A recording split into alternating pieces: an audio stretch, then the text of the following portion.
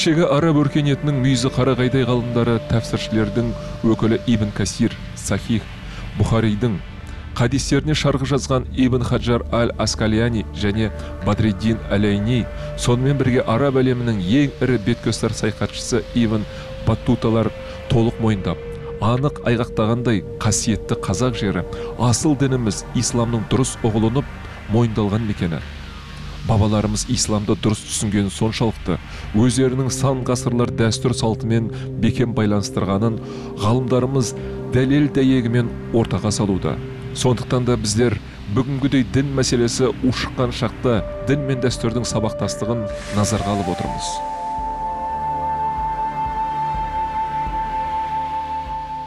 Армысың қазақ елі.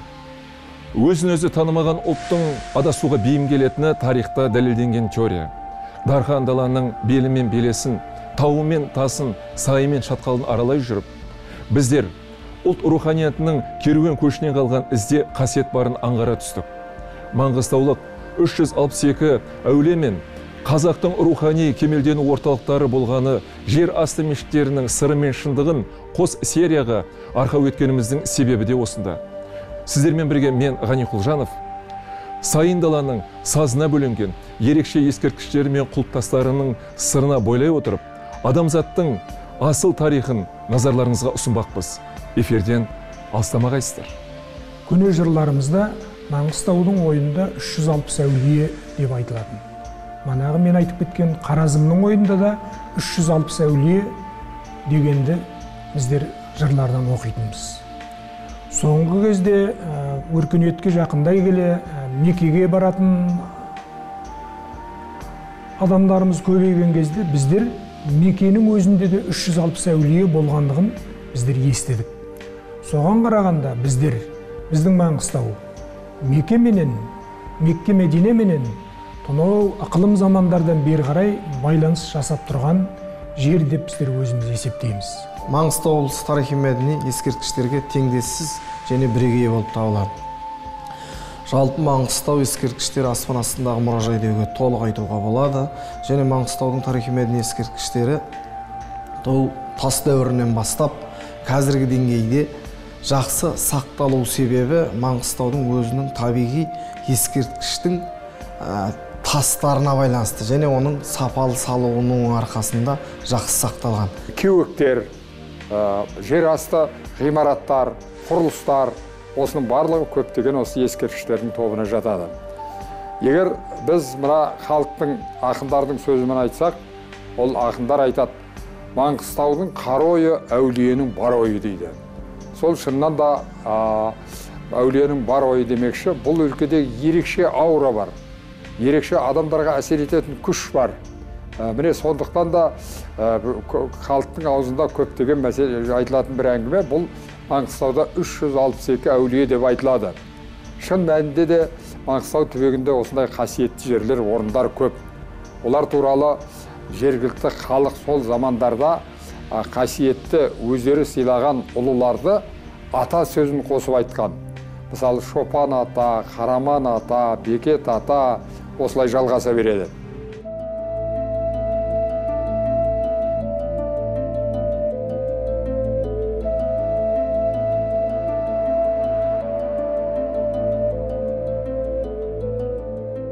Көне мәдениеттің көзінде болған маңғыстауда ондаған археологиялық қорық 11 мыңға жуық аспан астындағы тарихи ескерткіш мыңнан астам тасқа басылған таңбалы сурет бар. Осыншама құнды дүниенің құндағында дестеленген сыр кестеленген шындық пен көшелі дерек бүркеулі. Маңғыстау өлкесі бұл қасиетті өңір. 167 мың шаршы километр қарт каспийден ежелгі үстіртке дейінгі қанатын жайып жатқан өлке. Бұл өлкенің бай тарихы бар. Бұл өлкенің әр, әр жағынан ертеден келе жатқан дәстүр салты бар жалғасып келе жатқан. Ежелгі замандарда бұл, бұл өлкеде тетис мұхиты деп аталатын мұхит болған. Сол мұхиттың екі жағында екі үлкен континент біреуі үстірт біреуі маңғыстау түбегі болған. Мінекей сол замандардағы ерекше тұнбалар су түбіндегі бүгінде байлық болып халықтың қажетіне жарап жатқан реттері бар. Маңғыстауда көптеген жер асты мешіттері шоғырланған. Біздің шығармашылық топ осы жолғы сапарында оғландыдағы шопан ата мен бекет атаға қандыбас қыстағындағы қараман атаға өтес елді мекеніндегі сисем атаға маңғыстау ауданындағы масат атаға түпқараған ауданындағы сұлтан епеге және шақпақ атаның басына алып баратын дағылдармен жүріп өтті.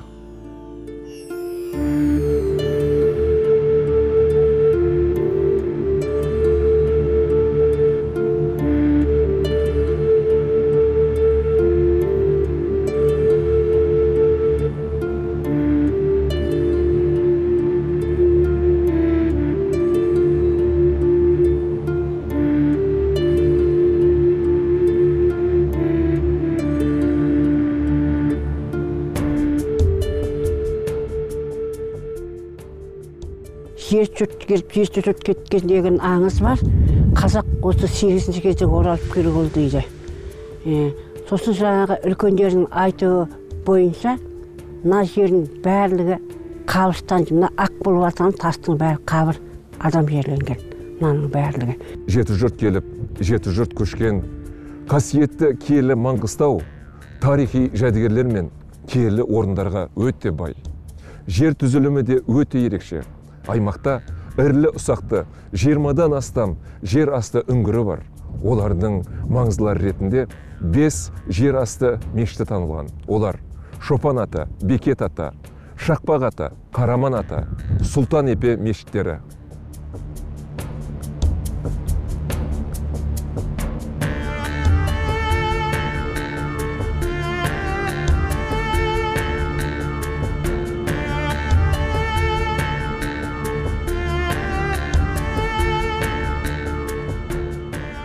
Жүз алпыс әулие дейді себебі мынау э, осы тарихи ескерткіштер маңғыстаудағы Э, мына жатқан аталар шақпақ ата қараман ата масат ата есен ата тағы сол сияқты э,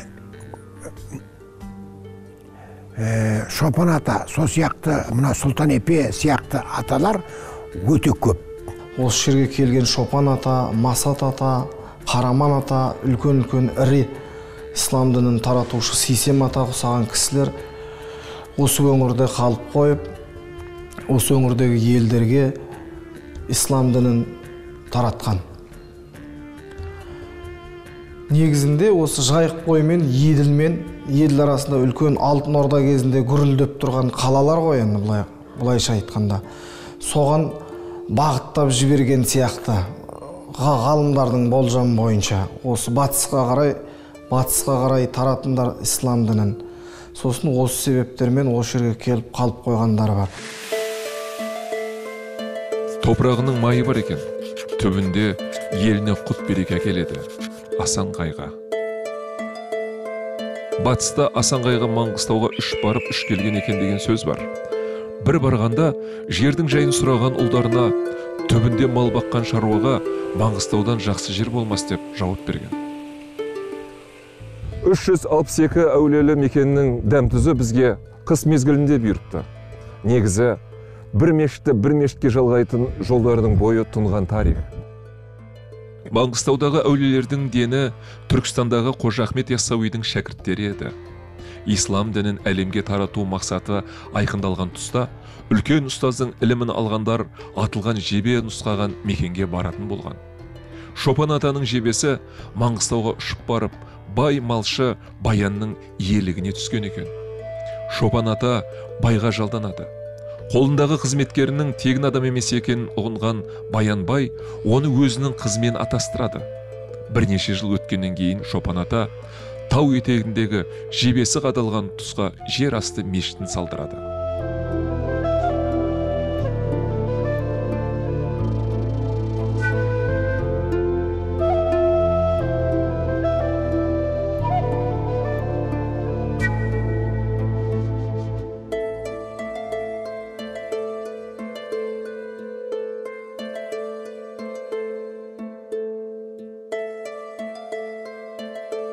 Мына келіп жатырғандардың шопан ата қорымы және шопан ата жер асты мешіттері. Мына жерде сіздердің көріп тұрған жер асты бала оқытқан мешіттері. Бірінші мешіт екінші үшінші төртеуі. Мына бесінші мешіт үлкендердің айтуына қарағанда зікір салып азан емлеген жері деп атайды мына жер шопан атаның азан шақырып намаз оқыған жері. Аңыз ауызбен енді бізде жазба түрде қолымызда ештеңе жоқ. Ауыз аңызбен айтылғанда шопан атада келіп шопан атаның азан шақырып намаз оқыған жері бекет ата ылым алып келгеннен кейін осы мешіттен азан шақырып намаз оқыған дейді. Атада нақыл бар ұстазы шәкірт болмайды шәкіртсіз ұстаз болмайды деп. Шопан атаның әруағын қасиетін барлығын жеткізіп келген мына ішінде жатқан барлық қабірстан осы мезгіл осы дәуірге шопан атаның қасиетін әруағын ылымын жеткізіп келген шәкірттері жатыр деп ойлаймыз. Ішінің бәрі қабірстан сол себепті ол мешіттерге даралап кіргізе бермейміз. Мына жердің барлығы бұрын ертеде біз астынан сыпырылып өтетін едік. Мына жердің бәрі көміліп қала берді кешегі егемендік алғаннан кейін тоқсан бір тоқсан екіден бастап біздің елбасымыздың ең істеген ең басты жасаған жұмысы әулие әмбиелер қол ұшын беріп көміліп қалған мешіттердің бәрін тазалап осындай дәрежеге әкелді. Мына жердің барлығы мыналардың барлығы мына көміліп қалған бейіттер екен мына құлпытастар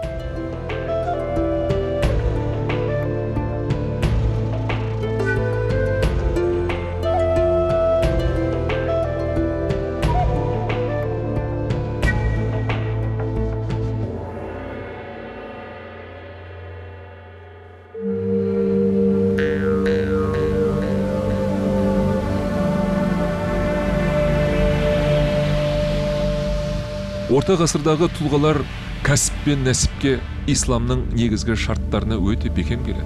Сол сияқты шопан ата да малшылықтың қыр сырын терең меңгере жүріп қой мен қойшының піріне тақуалығымен көптің жолбасшысына айналады. Шопан атаның шын аты есен болған. Білімді насихаттап оқымысты дәрежесіне жетеді.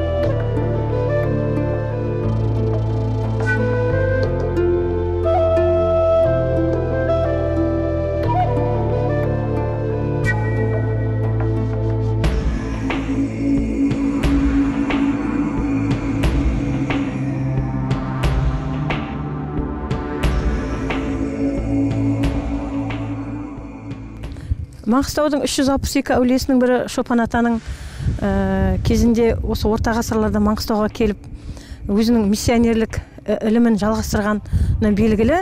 Ә, мынау тұрғанымыз дәл шопан атаның үстінде жерасты мешітінің үстінде ә, баян ата деп аталатын киелі орындардың бірі. Ол кісі біздің естуімізше біздің ә, осы халық арасындағы тарқаған аңыз бойынша баян ата шопан атаның қайын атасы болып келеді.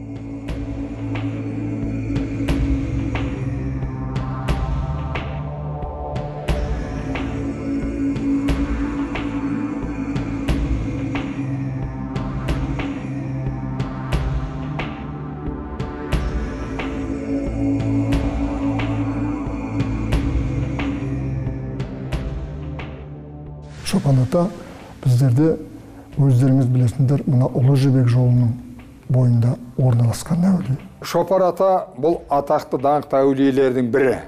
Ә, басында мынандай әңгіме болған. Ә, осы алысқа баратын адам адамдар әулиелердің басына барып сыйынатын болған. Шопан ата ұстаз біздің ұғымымызда.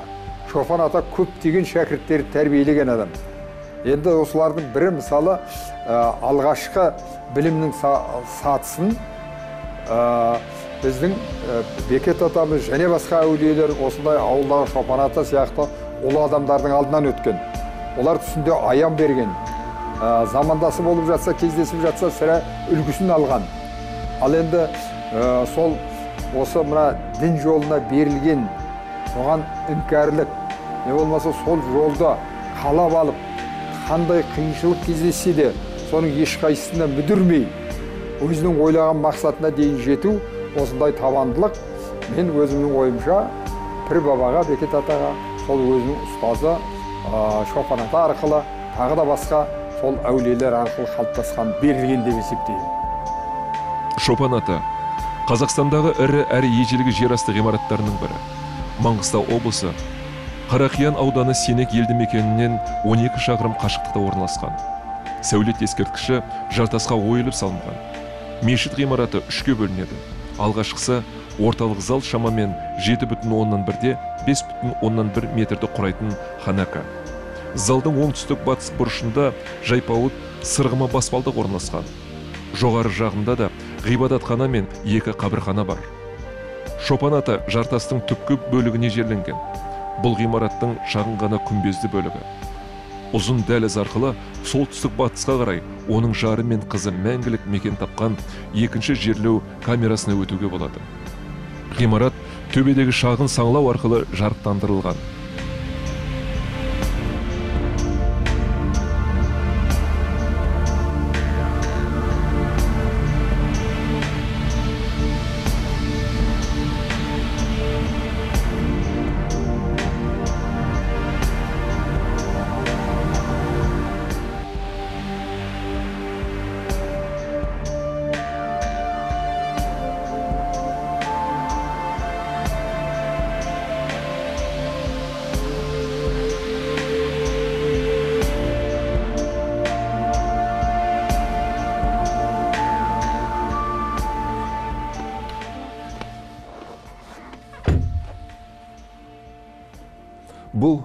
Шопан ата жерасты мешіті. Бір бірімен қосылған көптеген бөлмелерден тұрады. Ортаңғы бөлменің ортасында сырық ағаш шаншылған. Ал мешітке берілетін садақалар осы жерде төбіне жайылған ақ матаның үстіне салынады. Кіре берсе сол жақта шопан атаның өзінің. Ал төрден осы оның қызы мен әйелінің бейіті жатыр.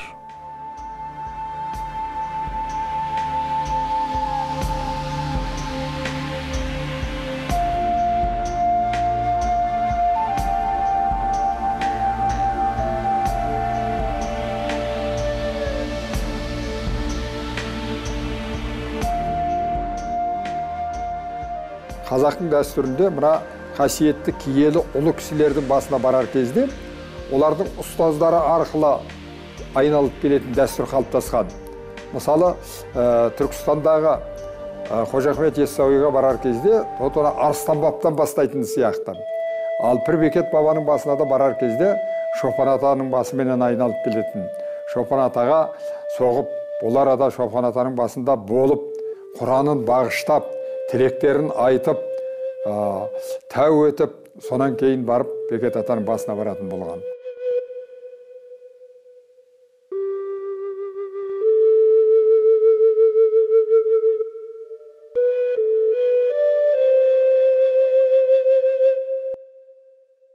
Қазақ жомарттығымен ел жұртын жарылқағанға да отанына риясыз қызмет еткенге де ата ана алдындағы парызына адал болғанға да қасиетті ұрпақ тәрбиелегенге де өз ортасында сыйға бөленгенге де әулекен шіркін деген тіркесті көп таңады.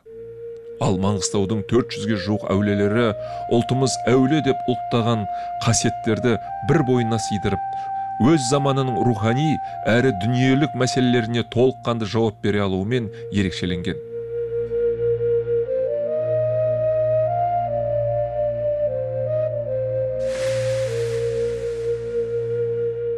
Біз алтайдағы орбұлақтағы батырлардың оңтүстік қазақстандағы аңырақай төсіндегі қан төккен батырлардың сарыарқаның сан қиырында жайықтың бойында қан төккен батырлардың еділдің бойын ендеп соғысқан ерлердің есімдерін қалай ұмытпасақ солардың санатында күні кешеге дейін ел үшін қазақтың бостандығы үшін қазақтың болашақ ұрпағының игілігі үшін қан төккен өз ата бабаларымызды да ұмытып жүре алмаймыз.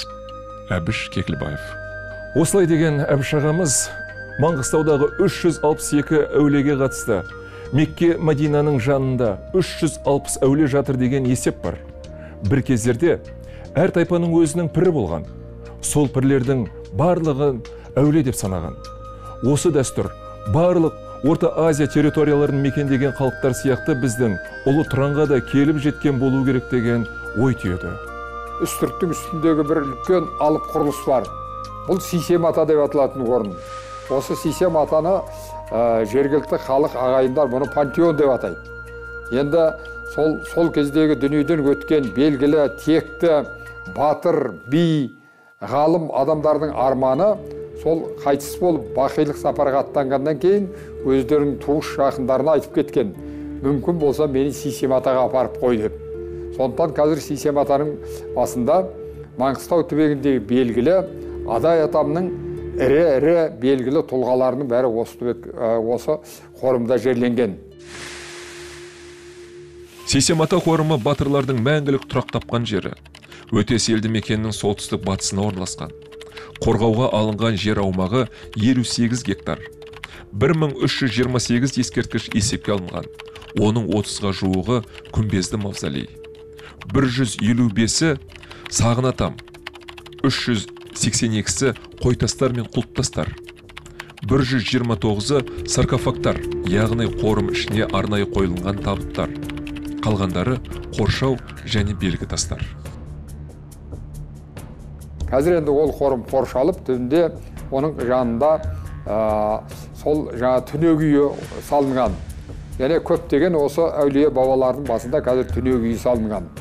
Енді бүгінгі біздің қорытып айтар сөзіміз осы бабаларға деген осындай ықылас бабаларды дәріптеу оларға сыйыну өзіміздің ұлттық құндылықтарымыз дінімізге тілімізге ділімізге қайта оралудың барлығы бұл тәуелсіздіктің нәтижесінде келген. Ғалымдар сейсем атаның өмір сүрген уақытын 14-15 ғасырларға жатқызады. Пантеон аталған тұлғаның кіндік қан тамған жері оңтүстік қазақстан облысындағы түркістан қаласынан қашық емес сырдарияның бойы деген дерек бар. Айта кету керек пантеон сөзі грек тілінен аударғанда ру басы деген мағына береді. Әдетте қазақ өзінің сүйегін жерлейтін топырақты алдын ала балаларына аманат етеді. Осыны ескерсек маңғыстаудың атақты байлары сахи мырзалары елді жаугершілікпен қорғаған батырлары әйгілі ер шотан қонай әнет төлеп батырлар сүйінғара қожаназар саназар қаржау матай тәрізді ел жайсандарының сейсем ата қорымы кешенінде жерлеуінде үлкен мән бар. Ол да мінәжат орны болған түрлі жағдайларға пайдаланылған соңғы кезге дейін ол жартастарда біздің маңғыстаудың көрнекті дінбасылары рубасылары жерленіп келген. Ол біздің өмірімізде халқымыздың әдет ғұрпында тарихында бар құбылыс. Бұл конус тәрізді тас және құм үйінділерден тұратын қасиетті қорым.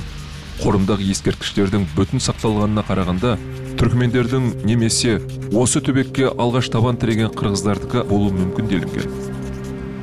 Орыс әскери экспедициясының басшысы полковник берттің күнделігінен 1825-1826 жылдар.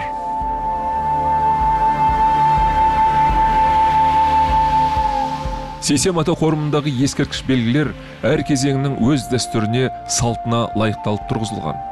Түбектегі барлық ескерткіштердің үлгісі осы жерде. Сандық тас қой тас құлып тас саған атамдар.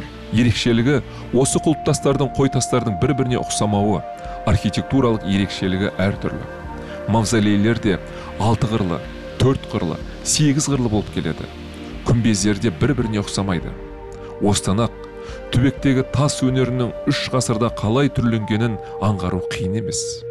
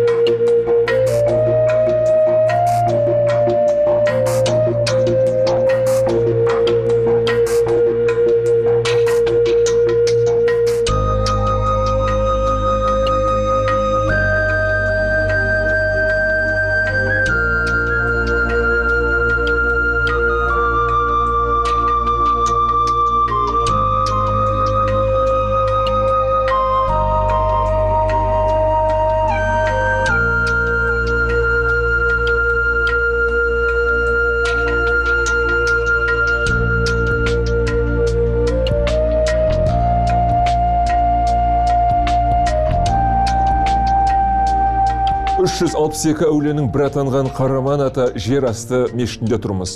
Бұл ғимарат жер асты жолдармен байланысқан бірнеше бөлмелерден тұрады. Ғасырлар бойы киесін жоғалтпай келе жатқан ескерткіш күні бүгінге дейін жақсы сақталып келген.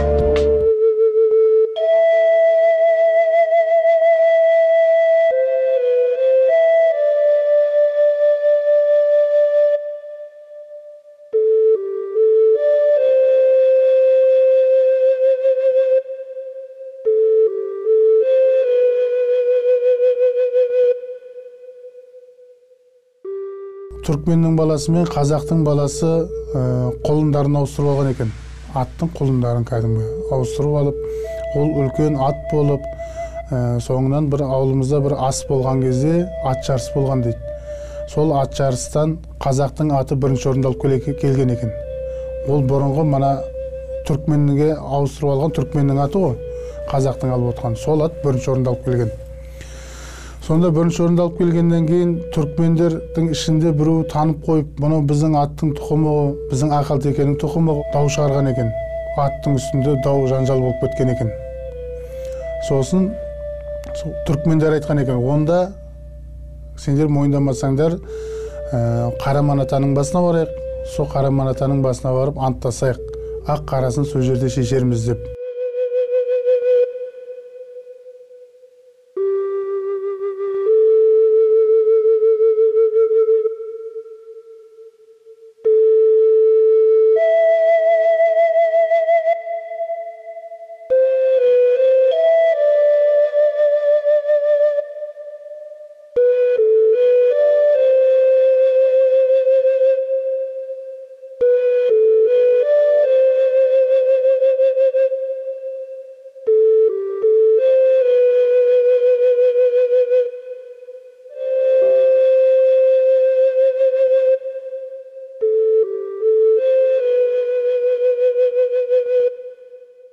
Жиынға қожаназардың кенже баласы қошан қазылыққа бекет ата қатысқан екен. Тоғыз жасар қошанды шымқай қара киіндіріп меңсіз қара атқа отырғызып ерінің басына біз шаншып уа қараман ата біз айтты десең бізді ат қара айтты десең қараны ат депті. Сонда қара ат табанда қатыпты. Біз анандай жерге ұшып кетіпті.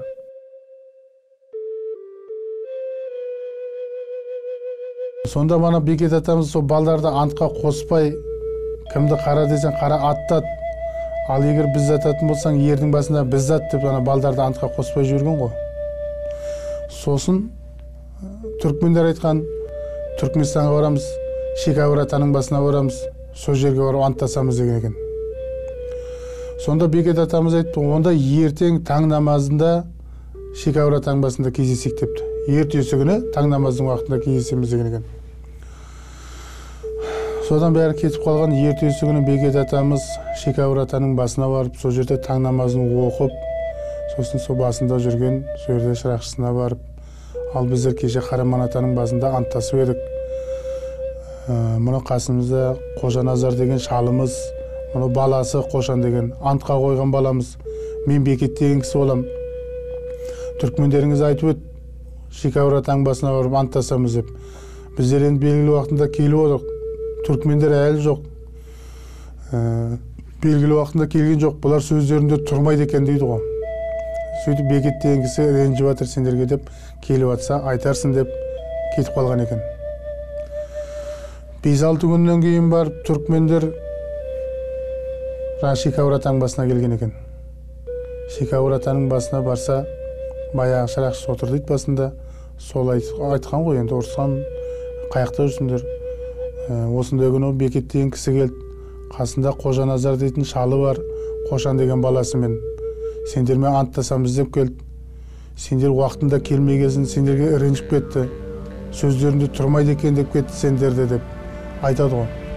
Сол кезде барып түрікмендер бекет атамыздың ұшып барып келіп жүргенін білген екен.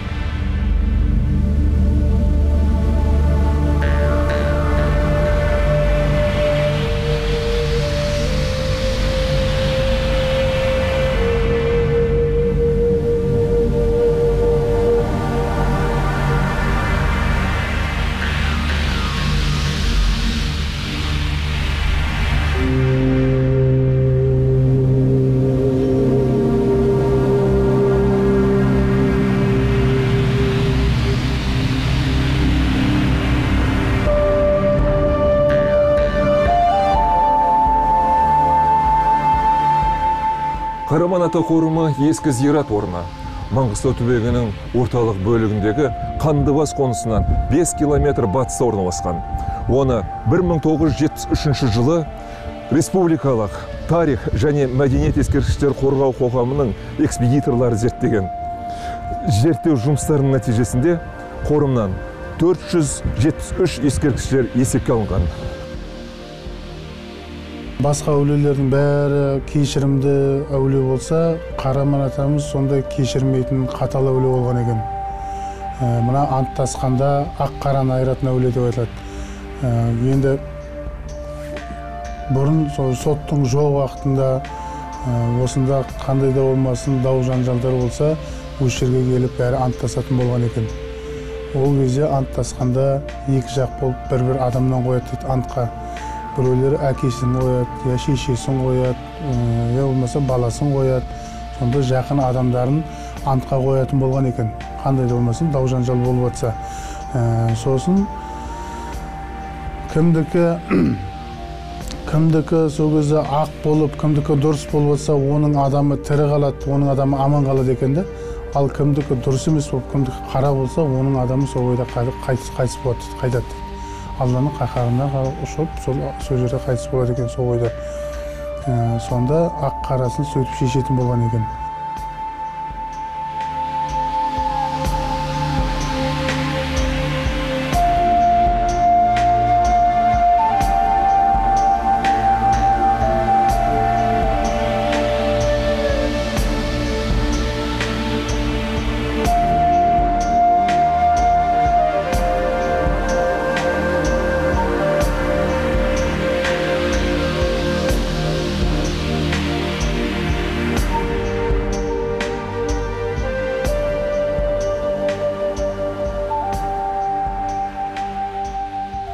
қауымның сыртында мына бөлек қауым жатыр оны да көрсеттім сіздерге тастардың болып тұрған.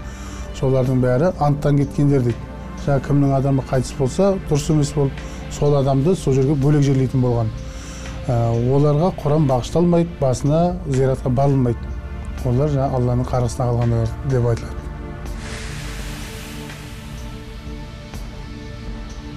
Қараман ата мешіті табиғи үңгірлерден ойылып жасалған. Мешіт көптеген бөлмелерден тұрады. Кіреберіс арқылы намаз оқитын залға одан әрі үлкен бөлмеге өтесіз. Бөлменің төбесі тастан құралған бағандармен бекітіле шегенделген. Екі бөлменің төбесінен жарық түсетін дөңгелек терезелер ойылған. Жерлерде сол білім берген намаз оқыған сондай мешіттері. Мына жақта енді бала әулие қыз әулие дегендер бар. Олардың бәрі енді осы жерде білім алып жатқан балдар дейді. Ә, бір күннің ішінде келіп қырып кеткен дейді бәрін. Білім алып жатқан балдарды сол ер балдарды бөлек қыз балдарын бөлек жерлеген сол жерге. Ол жерде де сондай жер астында мешіт болған оның бәрі көміліп қалған. Енді нағыз ашылған жерлері осы мешіттердің іштері. Қараман ата жерасты мешіт дегенде сол ол айдалада теп тегіс жерде ол уақытта жаугершілік уақыты мына бала оқытқанда солардың амандылығын тілейді жұрт. Сол алыстан қара көрінгенде ана ә, жерасты мешітіне кіріп кеткенде ешқандай із жоқ. Ешкім біреу табуы мүмкін емес. Үстінен тап басып түспесе. Сондай жерде орналасқан артынан бертін келе бер жағынан енді ә, сол ә, қойылымдар қойылып үстіне күмбез молалар салынып ә, зираттар ә, ә, салынып сөйтіліп кетті. Бұрында ол ә, айтылғанда тек қана жерасты мешіті болған. Есен ата дейтін әулиеміз бар осы жерден бір он жеті он сегіз шақырымдай жерде. Сол есен ата мен қараман атаның ортасында жер астында жол болған дейді. Бір бірімен байланысып тұрған. Енді бұл мешіттер дейтін мына э, жыл сайын күн сайын уақыт өт- өткен сайын мына кішкене көміліп көміліп келді ғой. Бұл қысқарды қазір. Ал бұрын кәдімгі іші үлкен болған екен кең болған дейді түйенің үстінде отырған адамның мына басы төбеге тимейтін болған дейді сол кезде осы мына биік болғанда қазір мен потолок деп айтады ғой потологы биік деп Ә, сондай төбесінде ат түйенің үстінде отырған адамның төбесі мына басы мына төбеге тимейтін болған дейді сосын жаңағы жер астында жол болды деп отырып ол жерден де ана екі қат ат, аттың үстіндегі адам бір бірімен өткенде қарама қарсы өткенде тимейтін болған дейді сондай үлкен тереңдікте үлкен жол болған.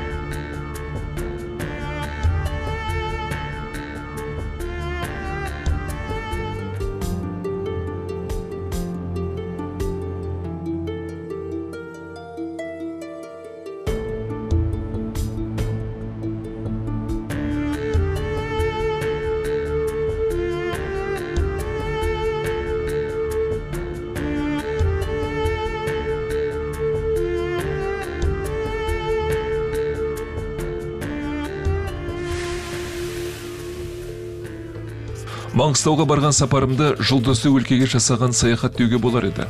Мен еш жерде мұндай жұлдыздар нөсерін олардың көз шаршатар жарқылын көргенім жоқ. Жұлдыздар маңғыстауға ұшып келе жатқандай сезіледі. Орыс қаламгері паустовский. Құс жолын көргісі келетіндер маңғыстауды арнайы бетке алады. Жергілікті халық жұлдыздардың көк аспанда бір бірімен иық тіресе жымыңдауынан да астар іздейді бұл бәлкім өздерінің саналы ғұмырында адамзаттың мақсатты жолын салып кетуге ұмтылған ата бабамыздың көкте шалқыған нұры болар. Осы жерде мен өздеріңізбен қоштаспақпын. Эфирде келесі кездескенше көк аспанды және көңілдеріңізді бұлт шалмасын деп тіледім.